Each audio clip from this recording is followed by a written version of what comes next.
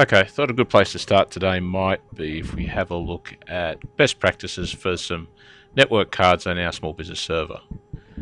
To find out what the IP addresses are of the small business server network cards, go Start, Run, type in CMD. You should then be presented with a DOS prompt.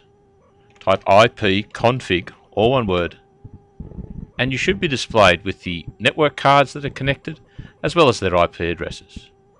In our case, we can see that we've got two network cards, 10.0.1.2 and 192.168.0.121. I do know, for example, that this is our internal network card that connects to our LAN. This network card here connects to our external connection, i.e. the internet. So we want to make it a bit easier for us to work out exactly what's what here.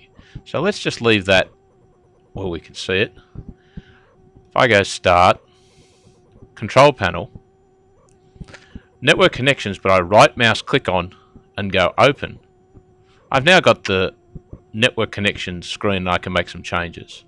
So I've got the two network cards here. So first thing I'll do is, is network card 1 I know is internal. So what I'll do is I'll right mouse click on that and I'll rename that and I'll call it internal. Makes it nice and easy to remember. Same with the other card which I will rename to external. Okay, so that's that's a great first step, but we can do better. If I right mouse click on this, go properties, then select these two options, right? So that I will see notification down near my clock of when it's connected and when it's not connected. I do the same here with my external one. Make sure that both the options are selected. Close the window. And now you can see down in this bottom corner I've now got the two network icons.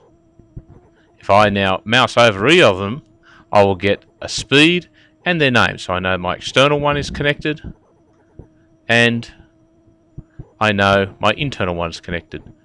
To bring up any information about it, I don't have to go through the start panel anymore. All I have to do is right mouse click, open the network settings, or right mouse click, and select status. Simple as that.